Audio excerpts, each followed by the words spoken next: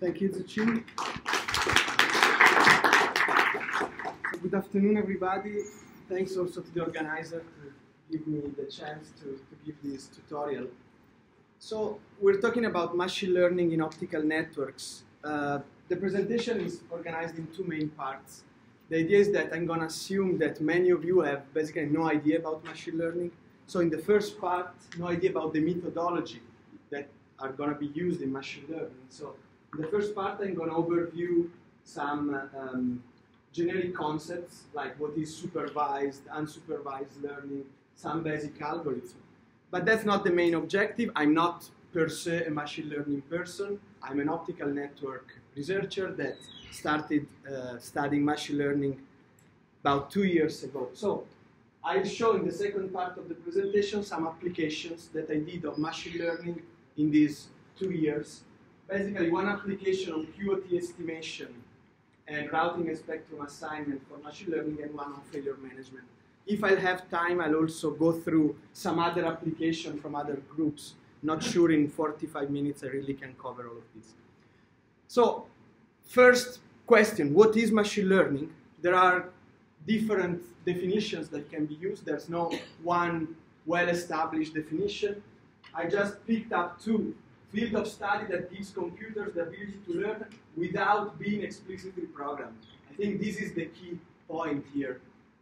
Whenever we do heuristics to solve optimization problems, to solve design and operation problems in our network, we are indeed telling the computer what to do with a hard-coded program. In this case, the idea is that only based on some experience, the computer learns itself how to solve the problem. And in fact, if we go to the second definition, teaching a computer to automatically learn concept, again, through data observation. So this ability of the machine to learn how to solve the problem without being explicitly said what to do comes from historical data that are used in order to understand how to solve the problem. So for our purposes, machine learning is really a set of tools, mathematical and statistical tools that allow us to make decisions by inferring statistical properties of data that we have collected, in our case in the context of optical networks. If I use this kind of definition, there are so many other terms that really more or less can be associated to this definition. Artificial intelligence, deep learning, data analytics, data mining. So it, it would take a lot of time to try to define the border, the borders between these terms in a very generic sense, I think it's nice to at least see the very high level uh, definition, distinction between artificial intelligence, machine learning, deep learning. So the idea is that artificial intelligence in general is the set of all the techniques which are used in order to mimic complex intellectual tasks. Instead of having humans solving these complex intellectual tasks, artificial intelligence allows to substitute human in these, in these uh, tasks. But there are several subsets of artificial intelligence, as I show here. Machine learning is only one of these subsets. So there's natural language processing in order not to recognize human voice, or uh, uh, robotics, vision, how to recognize the uh, content of an image. Machine learning has a specific, uh, a specific twist in artificial intelligence, which is related to the fact that we use mathematical statistical methods to infer statistical properties of the data that we have, such that then we can make decisions based on these uh, statistical properties. Deep learning, I, I, guess at the end of this first part, we will understand better what it means, deep learning. So I guess machine learning started more or less in the 60s, being investigated and, develop, and developed. So the first question is, why do we really get interested in machine learning in optical networks in the last two years? There are probably several reasons associated to that. Some of them probably they're not extremely technical, but they are related to other uh, aspects.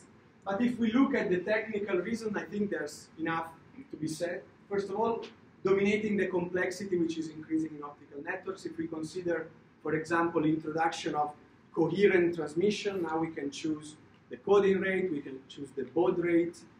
uh, the modulation format of transmitters. So we have several dimensions out of which we want to optimize the system. At the same time, with flexible grid, we can choose the channel spacing. So the amount of degrees of freedom of the problem of allocating resources in optical network increases. And we need to uh, do that probably with novel technologies. Second point, this is a, a, sorry, this is something that has been commented by NTT recently, especially in uh, developed countries with aging population. It's also not easy to um, to hire skilled workshop workforce in uh, in uh, in the field of telecommunication. So machine learning by automating some of the tasks that traditionally were done by, by uh, uh, engineers can help solving this problem. 5G transport, we know that, especially in the metro access part of the network, the services which are uh, envisioned for 5G are services with very high spatial temporal dynamics. So we want to reconfigure the network according to the dynamics of the traffic. Again, if we can automate this reconfiguration process, we can deal with this problem. And finally, the uh, enablers at the control plane. You want to run machine learning, but where into the network you will run these machine learning algorithms? Most likely you need a centralized control and management system. And nowadays we are talking about this kind of new platforms like orchestration, software-defined networking, edge computing. They're platforms that allow to perform these machine learning algorithms in specific parts of the networks. Okay, so let's start with a categorization, a classification of the various approaches in uh, machine learning. Supervised learning is the first family of approaches. What happens in supervised learning is that you have available from the field a set of data in which you have a connection between the features, the inputs of the problem, and the outputs that in the future you would, you would like to predict. So for several uh, weeks, for a certain amount of time in the past, you had this relation. So you have what is called labeled data, meaning that your input data are associated with the output that you would like to forecast in the future, to, to predict in the future. If your prediction goes on a continuous real value, you say that you're performing regression. If your prediction is for a categorical value, typically 0 or 1, yes or no, then you're doing what is called classification. Typical example of application of supervised learning is really traffic forecast.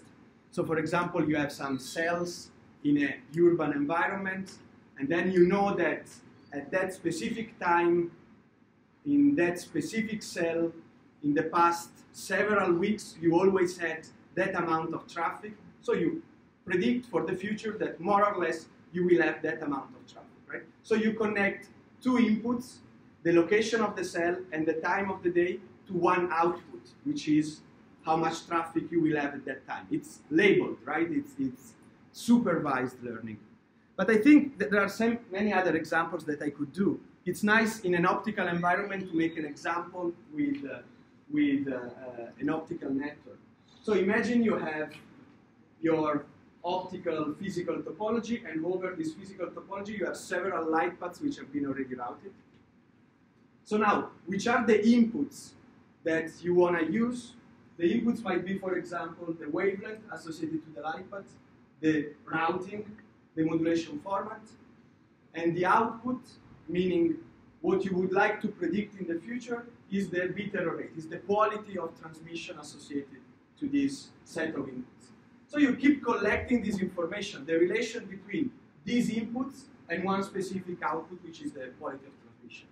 And you hope that if you, you keep collecting information about this relation, in the future, when you will have a new connection requested into the network, you might be able, just by having the inputs, so the wavelength, the routing, and the modulation format, you would like to know what is the bit error rate associated to this connection. Okay? So this is an example of supervised learning in the context of uh, optical networks.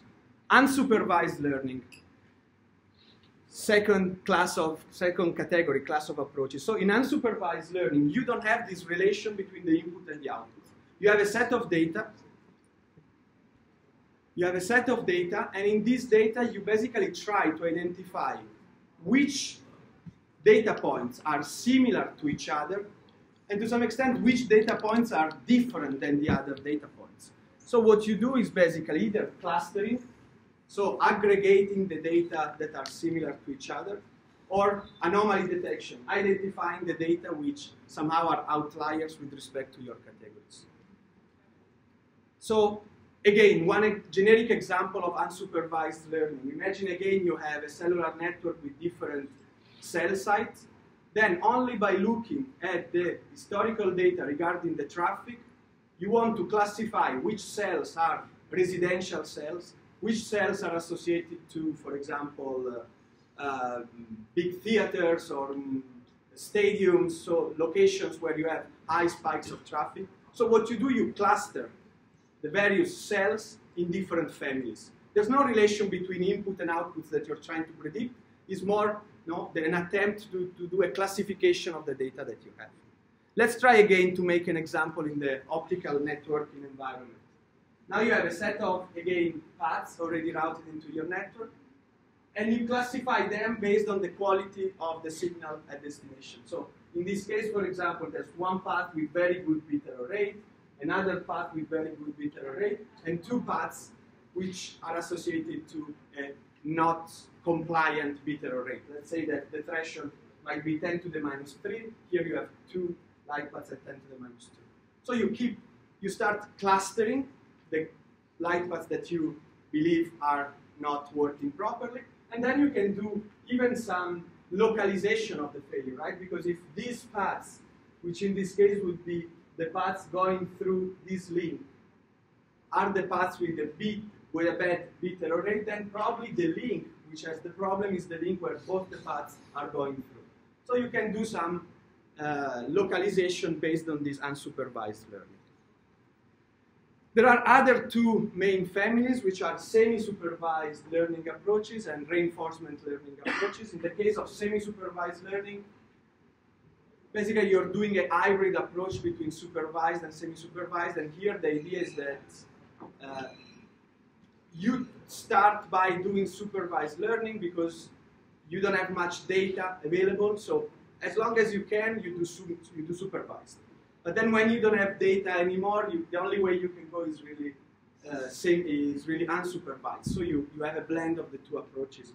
And I believe this makes a lot of sense, especially in the context of failure recovery in optical network, where some of the failures are known historically. So you do supervised learning.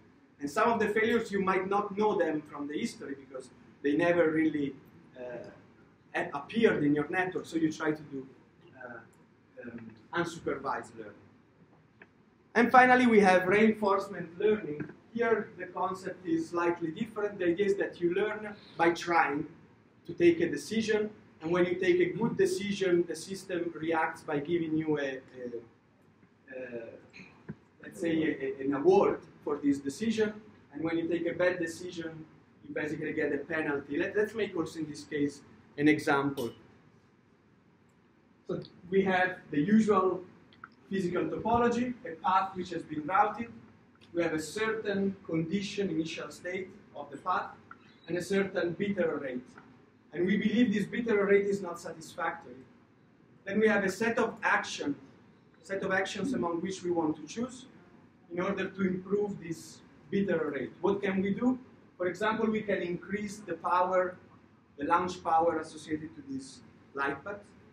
And if we try to increase the power, what we see as a reaction of the system is that the bit rate, instead of going down, it increases. There are several reasons for which this can happen, right, associated to nonlinear impairments.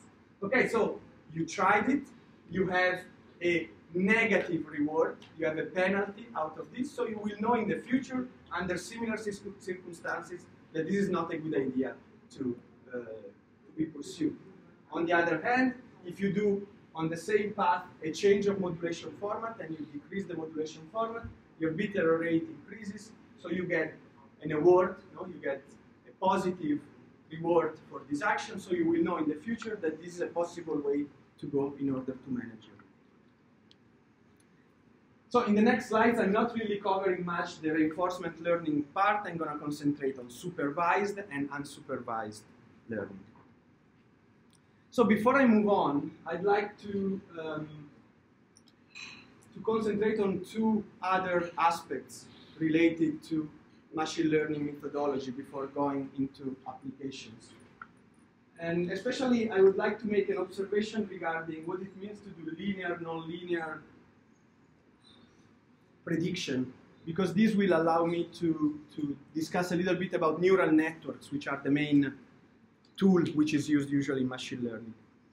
So let's start with, with overfitting versus underfitting, and I will start with an example that if some of you has started looking at machine learning, for sure he has gone, she has gone through this example. Is the price of the houses in Portland, Oregon. It's always there in the books. And basically it says you have a set of historical data, so this is supervised learning, set of historical data which tells you for a certain size of the house, what is the price. Then you have a new data point coming with a certain size of this house, and you want to know what is a good prediction for the cost of this house, for the price of this house. So what can you do? You can do actually several things. You can interpolate linearly the data that you have. But why are we doing this assumption? Why we believe that linear is a good interpolation of the data? Why don't we do quadratic, for example? Then we're going to have a solution more like this one. Or why don't we go for any other nonlinear polynomial approach like this one? So we will see that there are ways to take a good decision. But the main message that I want to give here is that it is not necessarily true that by increasing the complexity, the, the degree by which you interpolate this data, you improve the quality of your prediction. Okay, there's, there's what is called underfitting, meaning you're using a complexity of your, uh, of your function, of your prediction, prediction function, which is too low. This is underfitting. But there is also overfitting. You're using a function which is too complex, actually, for your problem, and hence you're not having the best performance in terms of prediction. So let me, let me go through some of the existing algorithms, and really the, the objective is to try to understand the, the main, uh, the main uh, points behind the neural networks. And let's start with the most obvious example of machine learning application on data, which is linear regression that ma many of you probably already, already know. So this is exactly the same example as before. We want to find a linear, since we are in linear regression, a linear function that approximates well this data. So obviously we have infinite linear function that can be used here, right? So which one we pick? Well, a linear function is associated to some parameters, in this case theta 0, the, you know, the coefficients of x1 theta 1, and the other coefficient theta 0. This is true for any linear function. So how do we choose theta 0 and theta 1 such that we have the best prediction? Very well-known problem in mathematics. You can, for example, minimize the mean square error, and you have plenty of algorithms which allow you to get theta 0 and theta 1. So very simple and known problem. But is it always the case that you only have one input parameter out of which you want to predict your output? You might have several parameters, right? Like in the example of the light path before.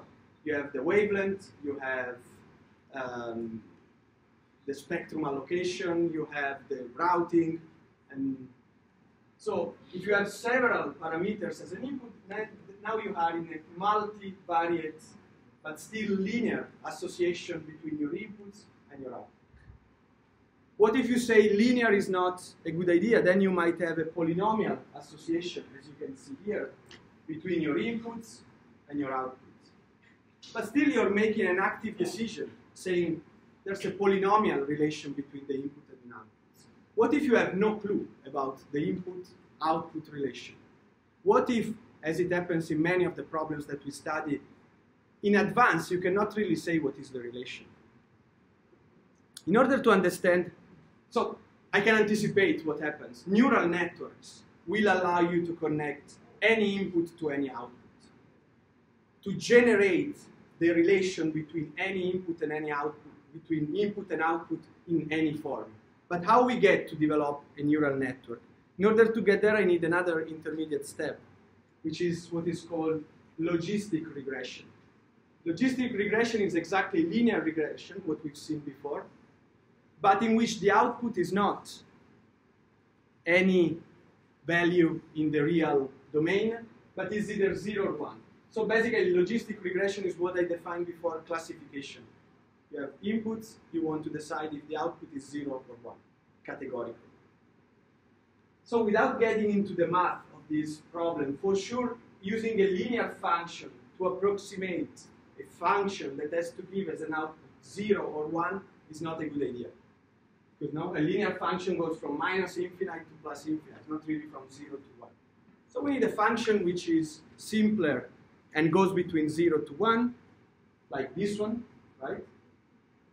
And this function is what is called the sigmoid or logistic function. It's 1 divided 1 plus e to the minus c. So this function gives us the first, what is called neuron, to be used to generate a neural network. So the same algorithm that we use here through this function can be basically used under this form to connect set of inputs to a certain outputs. So one neuron allows us to do classification, to say if it's a zero or one, the output, based on a set of inputs that we have, by deciding that these values us. The idea is that what has been mathematically proven is that if, you if we interconnect several neurons, not just one, several neurons, and we connect our inputs, our features, to these several neurons, we can find ways such that this structure represents any connection, any function between the input and the output, without ourselves, without us saying anything about it. So leaving to the neural network the decision of which functions relates the input to the output. There's no more linear, non-linear uh, association. There's no assumption on the connection between input and output. It's the neural network that takes this decision. Okay, so that's why neural networks are so powerful because they allow us to, to, to generate a model between the data that we have and the answer that we want to get, which is generic and is obtained through neural networks. Now, if we, instead of using only one set of neurons, which is called the hidden layer, we use several hidden layers. The idea is that this ability of neural networks to discover the relation between inputs and outputs becomes even stronger. So to some extent, you can place in input whatever you want without pre-processing. Usually the features of your problem, they should be decided by you in an intelligent form. Now, for example, again, in the example I gave before, the features were the wavelength of the light path, the routing of the light path, the modulation format of the light path. So there was some intelligence in the choice of the features. The idea is that if you increase the number of hidden layers, then you just give data in inputs associated to your problem, and it's the neural network that by having several hidden layers discovers which features are more important and the relation between the feature and the output. And this is called deep learning. So the, the, the, learning done through neural network with several hidden layers is what is called deep learning. That somehow promises to solve everything because you just give data and input, you have a lot of processing, and then the output is automatically calculated so before I move to applications, just one additional consideration, since I'm going to use these terms uh, later. Now, let's imagine you have this data set from the field, for example, a data set of quality of transmission from your light paths, and you want to perform some machine learning analysis over this data. So what the way you should organize your data is you save, you reserve some of your data for the training of the algorithm, such that the algorithm develops these data values, which are the parameters of your algorithm, of your neural network, for example. You reserve some of the data to perform a test to see if the algorithm that you have developed really works, it comes out with the right solution. Then you have also validation set. So usually it's like 60% here, 15% here, and 25% of the data here. These validation data are the data which are used if you use neural networks to decide how many hidden layers you need and how many neurons per hidden layer you need. Which means basically you decide the hyper parameters of your neural network. Anyway, I'm going to use especially the term training set and test set a lot in the rest of the presentation. so what are the applications that I'm going to discuss? The applications that I investigated mostly in these uh, two years. So machine learning to perform a quality of transmission estimation of unestablished light paths, and machine learning for failure identification. Let's start with quality of transmission. The motivation has been somehow already discussed. If we if we are dealing with uh, deployment of new light paths into the network nowadays, we have several transmission configurations out of which we can pick the right light path transmission configuration. Now we have to choose among different paths. We can choose different spectrum allocations, different modulation formats, different baud rates, different coding rates, and so on. So in principle, for each possible of these combinations, each possibility of combining this data, we should have a prediction of how good is the quality of transmission, how good is the bit error rate at the destination associated to any combination. So what, what do we do today to predict what is the quality of transmission on a path before deploying the path? Basically, I have two main areas, two main approaches that we can use. We can use a, we either use these exact analytical models like those based on these split step Fourier methods. They've been investigated quite intensively, but here the main problem is that even, if, even though they give accurate results, they're extremely heavy computationally. So in a context where you have several connections to be routed with a certain dynamicity, it doesn't really scale. Or we use, and this is what is really done most of the times nowadays, we use marginated formulas. I think the most famous one is the Gaussian noise model uh, developed by Professor Poggiolini in, in, in the last years. So these marginated formulas are fast, are scalable, they can be used on the field in practice. The problem is that some, under some circumstances, they are inaccurate. They might require high margins. Why they might require high margins? Mostly because it's not, in, in, in this Gaussian noise model, you have several parameters to be given as an input.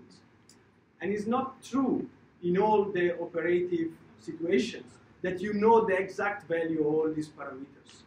For example, the noise figure of some amplifier which is crossed along the network might not be perfectly known because it's not in your domain or there, are, there is aging of the amplifier. There are several reasons for which you don't have a perfect knowledge of the parameters to be used in the model.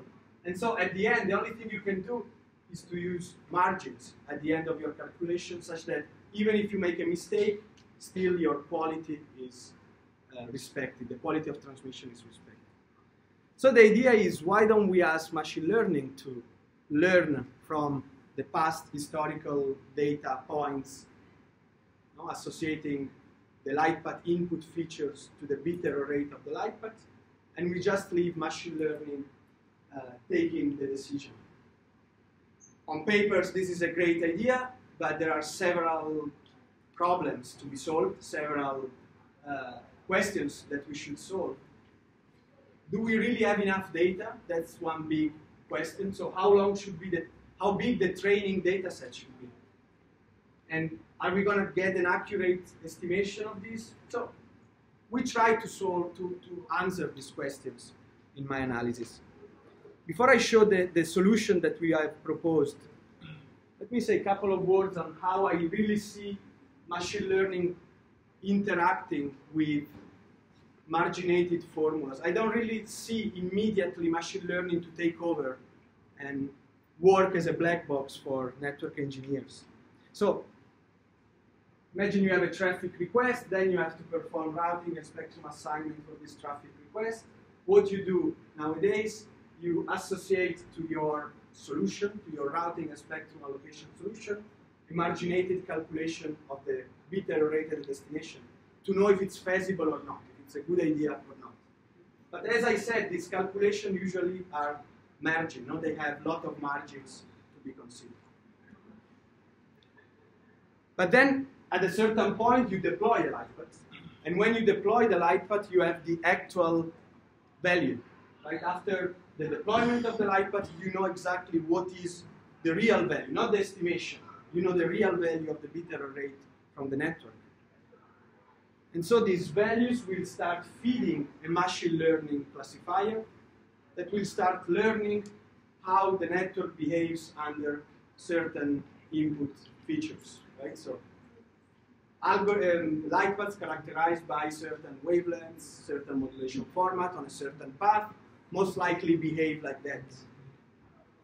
So what I expect is that at the beginning, when this calculation gives you a value which is close to the threshold, and you don't feel safe to accept this value, then you will start getting a second opinion from machine learning.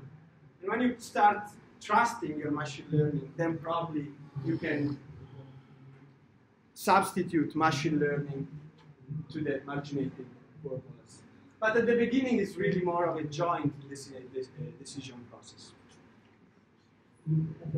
So anyway, let's let's talk about how the solution that we that whose performance we evaluated, that we investigated works. So in our solution we have an input, which is a set of light path features, we will see which features, and the output, which is the probability that the bit error rate is less than a certain threshold. The input features are somehow uh, intuitive, right? The features that characterize the quality of transmission of a light path are, for example, the modulation format of the light path, the total length of the light path, the traffic volume of the light path. So what you did, what you do is you get information historically about the relations between a certain set of features of your light path and the probability that with these features you guarantee a certain bit error. So this is a probability, right? Because you can have several light paths with the same features that sometimes they work, sometimes they don't. So you get a certain probability. And then in the testing phase, you just get the input features, and based on this historical knowledge that you have developed, you get an estimation of your probability. The probability that the light path will respect the bit error rate threshold. So this is simple idea to be verified. Actually, it's somehow limited in the sense that if you check the features that I consider, they're all features associated to the input libraries. I have, I don't have here any features regarding the state of the network. So a light path comes with its characteristics and I take a decision. I can do much better than this. I can, for example, add to the six features that I shown before, features regarding the state of the network. So for example, features regarding the interferers, the neighbors that interfere with your light paths. How many neighbors do you have? How far away your neighbors are? What is the modulation format and traffic volumes of your feature of your neighbors? Okay? So you can have several features associated to your inputs and outputs. Now that we have an idea of how to relate inputs and outputs, what are the inputs And what is the output? We need the data. And this is really a complex point to be solved in the sense that it's very difficult to get data from the field. So what we did in this specific case, the next case you will see there are some field data. Here we just used synthetic data because we couldn't find real data. I'm not getting much into the details here. We used for data generations, we used the Gaussian noise model associated to a specific set of features. So we used the, the rate model associated to the Gaussian uh, proposal from, from uh, Professor Poggiolini. And then we added a random noise over this basic estimation, which is negative exponential distributed under the assumption that negative exponential is the worst distribution possible. So we're going to get in our solutions a sort of worst case accuracy. Now our results will be worst case results because in terms of added noise from the distribution, the exponential negative is really the worst thing you can do. So, in other words, I'm not pretending here to say that the impact of the channel on your light path is negative exponential. I'm just saying that negative exponential is the worst case that you can have. So the results that we will have are worst case results, which are at least you know, a reasonable uh, benchmark. Then we had to choose the machine learning algorithms. I talk about linear regression, logistic regression, neural networks, which machine learning algorithm did we choose? It is not obvious to say which machine learning algorithm we have to choose to solve a problem. There are some high-level recommendations, but it's really what you learn on the field. You know, when you do things, after a while you start learning how to pick the right machine learning algorithm. So what we, do, what we did in our case was we picked all these possible algorithms, which are basically k nearest neighbor and random forest. I haven't talked about this algorithm before. Sorry, we didn't have much time. And then with different parameters. And then what we did was to try them and see what was the accuracy. The accuracy is basically the probability that your prediction is correct. You want the accuracy to be one, right? You want your prediction to be always correct. And we check the accuracy of all the approaches and the test and training time, which is basically the complexity of the approach. And we found that a good trade-off between the accuracy and the complexity was given by this random forest with 25 trees. So we have used random forest with 25 trees. Zuchin, tell me if I'm late. Yes, you are. How, how, how, seven minutes? Seven minutes. So we tested our algorithm on, uh, as I said, synthetic data, specifically on these two networks. This is a Japanese network, more of a small country scale, and National Science Foundation network, more a continental-wide network scale. And the first question that we wanted to answer, I mentioned it before, is how much data we need. How big the training set should be in order to give reasonable accuracy so what I'm plotting here is what is called the area under the ROC curve. It's quite complex to explain what it is. It's enough to know that the accuracy is the area below this curve. So basically you want the curve to be as much as possible close to these two axes. So the area is 1. And if the error is 0.5, that's the worst case possible. You just randomly choose. So as you can see, if I have only 10 historical data. That's what you get. But if I start having 100,000 or 90,000, then you get data uh, accuracies which are very close to 1. So the message here is with 1,000, which is not an abnormal number in an operational scenario, you can already get pretty good results. Again, under a worst case assumption. So it's somehow suggesting that training phase might have a reasonable duration. Second question, is there an impact on the accuracy regarding the topology? And actually, yeah, there is an impact in the sense that on the NSF topology, it seems that the uh, solution works better, which confirms intuition because on the NSF topology, you cannot really choose many modulation formats. Right, on the NSF topology, the links are very long. Either you use QPSK, BPSK, there's not much more options. So basically the algorithm works better because you don't have many options to choose from. So the, the accuracy gets higher. And here I think it,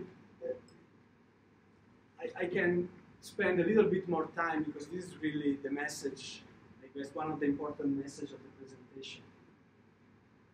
So the interest in doing research in machine learning in optical networks, I don't think stays in taking machine learning algorithms as they are, apply them to our problems which have been solved with optimization before and see if they work. They most likely will work and they will give the same result of the previous approach, right? What is interesting is to see if whatever is out there needs to be modified in order to really solve the problem that we have in optical networks. One example, if you are on the field, most likely the data that you get from the field are data which are positive. Meaning, I don't think an operator will deploy a light path at 100 gigabit per second to discover two days later that the light path doesn't work, right? It's too much of an investment. So the data you get from the field are all positive samples. But can you train an algorithm if the samples are all positive? Not really. An algorithm to be trained needs positive and negative samples. So see here, if I train my algorithm only with positive samples, I have a very bad uh, accuracy, 0.77. The solution might be, I ask the operator to deploy probes, to deploy light paths, not to carry information, but just to tell the algorithm if the algorithm works. But I don't expect the network operator to be happy to spend money to deploy light paths in order to give data to the machine learning algorithm. So this is what you get in this random approach, 0.98. If the operator is happy to spend a lot of money on probes, then you get a very high accuracy. Can we find an algorithm that tells exactly which probes you need, only few of them, not many, few of them, and get this value? Well, we tried. You know, this selective approaches are approaches in which machine learning goes back to the user and says, why don't you make that probe? Because I really need to explore this part of the data uh, area in which I don't have probes. So we improved the 0.77 to 0.89, but still we, we need to do something better. And these, I think, are the problems of machine learning application optical networks, which are uh, interesting to us.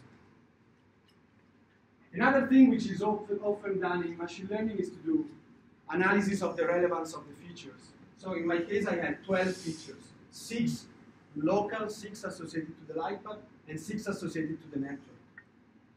And so what we try to understand is which of the features are more important. What you do, you repeat your algorithm. You run your algorithm with different number of features, as you can see here, and you see if it is enough to have a low number of features to get accuracy which is very high. So this is the full case with, with an accuracy which is almost 1. If you start removing some of the features, you see that this case 5, which basically has only light path length, traffic volume, and modulation format, works pretty well, which is reasonable because these are really the important features that you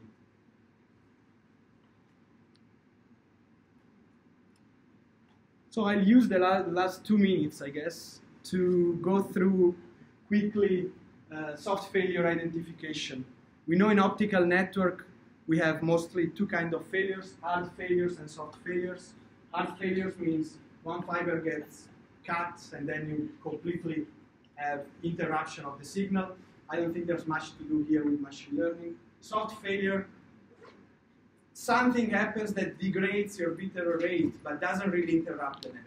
It just degrades partly your uh, bit error rate. Maybe there's a there's a um, filter which starts getting shrinking or misaligned, So the bit error rate starts getting worse. In the soft failure management, there are several applications for machine learning. One of these is early detection. You want to use machine learning in order to get information about a failure that will arrive in the future as soon as the error rate starts behaving strangely, right? So in this example, you have three paths. Imagine you can sample the error rate at destination. If everything goes fine, it oscillates, but it stays well below the error rate threshold. Then at a certain point, something goes wrong. So the error rate starts increasing. So the idea is that if you can discover that something goes wrong immediately, not waiting for the bit rate threshold to be, to be uh, crossed, then you can do, for example, some reconfiguration of the network, and you, know, you avoid you avoid to have downtime. So this kind of early detection is, to me, relatively simple problem which can be solved even without machine learning. We have an average, a mobile average, then you, you realize that things are not going well and you try to act. What I find more interesting, and this is what I'm actually investigating, is to answer this question. Imagine you have two paths, and the two paths have a degradation going on due to two different reasons. Here maybe I have an amplifier which is not working. Here I have a filter which is shifting. Can I, just by looking at this behavior of this ramp, you know, of this performance degradation, understand what is the cause of the failure? In other words, is there a signature of the cause of the failures associated to the behavior of the bit degradation? So in this case, you really need machine learning intelligence to read this behavior and to distinguish if this behavior is due to one cause or another cause, which is what I try to say here. Cause identification, soft failure cause identification. Um, we developed an algorithm. I know I'm pretty late at this point, so I'm not getting too much into the details. But the idea is that you monitor your bit error rate with a certain window, so you identify a certain window of, um, of, of data. And so you have to decide how often you have to sample your, your bit error rate and what is the dimension of the window. And then on that window, you perform statistical analysis, mean, uh, minimum, max, standard deviation. In our case, since we need to find the signature of a certain cause, we even do the FFT of that window in such a way that we know a little bit the spectral components associated to that. So if we associate all these statistics to our algorithm, it ends up that we are able to have a very high accuracy over realistic data coming from a field trial. We have a very high accuracy. Let me go directly to the, to the, uh, end. An accuracy which is almost 100%, even with window size which are not extremely big in number of bit rate samples, and even with the sampling time which is in the order of a minute, which is a reasonable sampling time. You don't have to stay at milliseconds. Okay, if you're interested, there are several other topics, not just QoT estimation and failure recovery. There are a couple of surveys online on this, on this topic. One survey is done by me and my colleagues, and I suggest you to give a look at it. And thank you very much for your attention.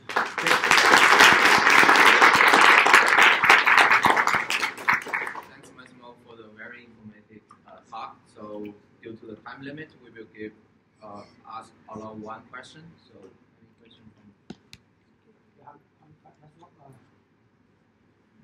Uh, I noticed that you, are saying uh, the prediction accuracy is uh, very much related to the topology, right? I, I mean, so have you considered uh, doing this kind of prediction with uh, dynamic topology, meaning like uh, you may be add, adding I'm assuming like if you add an amplifier or change the topology, change that part the prediction, you may, you may need to have uh, another trend to model. Then that is very common. Yeah, I, I perfectly agree with what you're saying. Whatever quality of transmission application, but even failure recovery applications you want to do, they're not going to be black box solutions that work on any network. I guess they need specific training on your network, which is costly but is not unbearable in terms of cost because the network is a big system and having a dedicated training to me is, is a reasonable cost to accept. The problem is that the network also evolves and probably you have to repeat this training Right. and this is what actually is an interesting question, right? We have to repeat it every two weeks, every month, every year. That's, that's an interesting dimension of the problem. Okay, I think the sector speaker again. If you have more questions, please. So let's move to our second talk. Uh,